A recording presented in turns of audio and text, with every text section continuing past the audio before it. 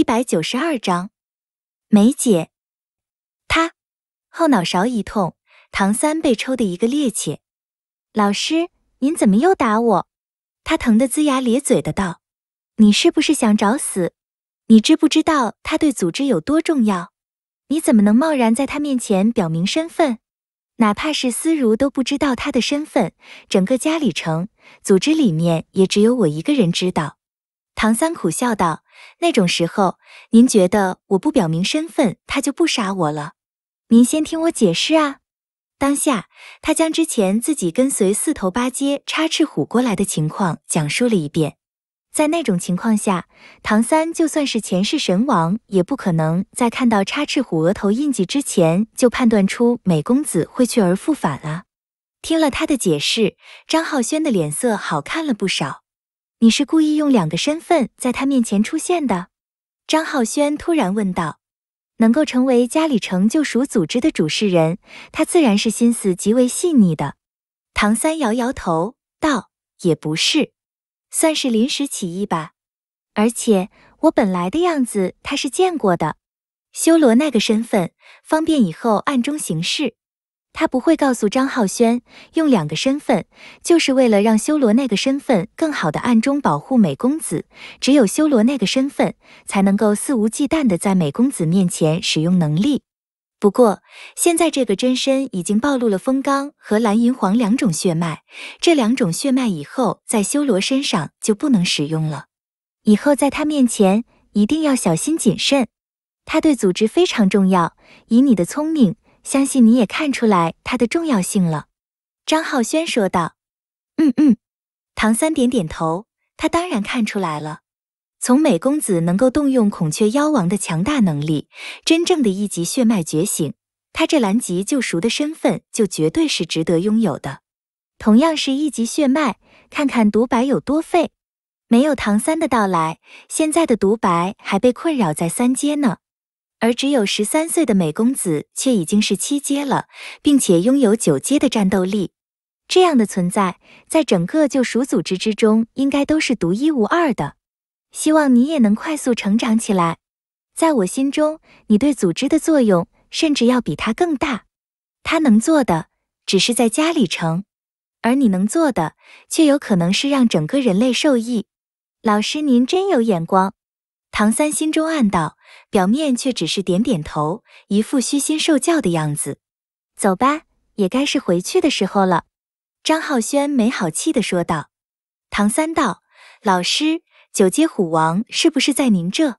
张浩轩瞥了他一眼，太聪明有的时候并不是好事。唐三嘿嘿一笑，道：“我可是您弟子，这次计划也是我制定的，收获总要有我一部分吧。”您是不是把插翅虎群给全歼了？张浩轩摇摇头道：“毁灭一个种族有伤天和，我只是猎杀了其中的一部分。当黄金狮子狗远遁的时候，出现在插翅虎王面前的自然正是张浩轩。面对重伤的插翅虎王，那自然是没什么说的，直接解决问题。而其他的七阶插翅虎，自然也没有是他对手的。”尤其是刚被黄金血脉震慑过之后，对付起来再简单不过。不是因为储物器装不下？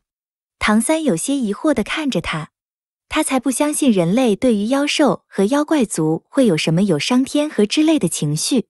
这些种族对于人类可实在是恶意太多了。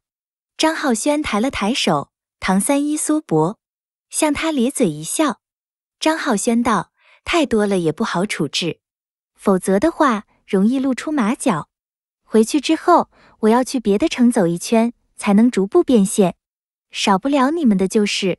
插翅虎这次虽然没有被绝了根，但几乎损失了所有八阶以上的存在，短时间内想要复苏也不是容易的事情了。下次历练都不能再选这边。张浩轩带着唐三和武兵记几人会合之后，这才返回救赎学院而去。这次的收获已经不能用大来形容了。最让唐三惊喜的，还是来自于九阶插翅虎的那一身气血。张浩轩虽然击杀了他，但趁着气血还暖热，让唐三吞噬吸收了一下。九阶虎王的血脉之力极为强力，推动着唐三的玄天功已经到了六阶巅峰中的巅峰。如果他想，现在就有突破七阶的可能。唯一的问题就是七阶的力量，他现在的身体是否能够承受得住？唐三选择了强行压制，将那庞大的血脉之力汇聚在自己体内，没有急于突破。夯实基础有多么重要，身为曾经神王的他再明白不过。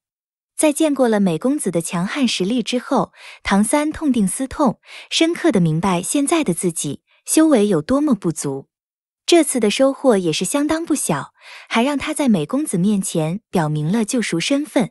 回去之后，就是要厚积薄发的好好修炼才行了。赶快把实力提升起来，才能真正的去保护美公子啊！毕竟他要做的可是大事。当他们回到救赎学院的时候。一切如常。对于这次的收获，张浩轩让他们严守秘密。毕竟，对于其他学员来说，他们这次的收获实在是太大了，而且其中还有张浩轩所带来的收益。至于利益分配，那要等到镇长大人销赃结束之后再说。这次虽然从实力上来说，救赎小队提升的不明显，可这次获得的利益却更大。无论怎么分配。也肯定要比上次更多。有了钱，修炼起来事半功倍，自然是不在话下。而唐三的心，此时却已经是飘回了家里学院。家里学院，梅姐，你救了我们所有人，我们哪还能跟你分配这些收获？都应该是您的。美女与野兽小队已经回来了，正在瓜分战利品。而小队的所有成员看着美公子。却都没有要动手的意思。这些战利品包括一头八阶插翅虎以及多头七阶插翅虎的尸体，自然是不包括美公子后来返回带走的那两头八阶。美公子摇摇头，八阶的我要了，剩余的你们分吧。一边说着，他走上前，将八阶插翅虎的尸体收了，转身而去。目送着他离开的背影，宋君后忍不住抬手捂住自己的脸。然后再松开，狠狠地抽了自己一巴掌。他这辈子第一次知道了什么叫后悔。当他眼睁睁看到美公子额头上亮起孔雀金冠，孔雀翎刺出，秒杀四头八阶插翅虎的时候，真的是悔得肠子都青了。金冠王储，这可是孔雀妖族这一代唯一的金冠王储啊！拥有妖皇潜能的金冠王储，一级血脉比黄金血脉绝对强大吗？其实并不一定，黄金血脉虽然是二级血脉，但黄金血脉的实力却是非常稳定的。只要是直系的黄金血脉，几乎都拥有非常强大的能力。黄金血脉的天赋也基本上都能觉醒。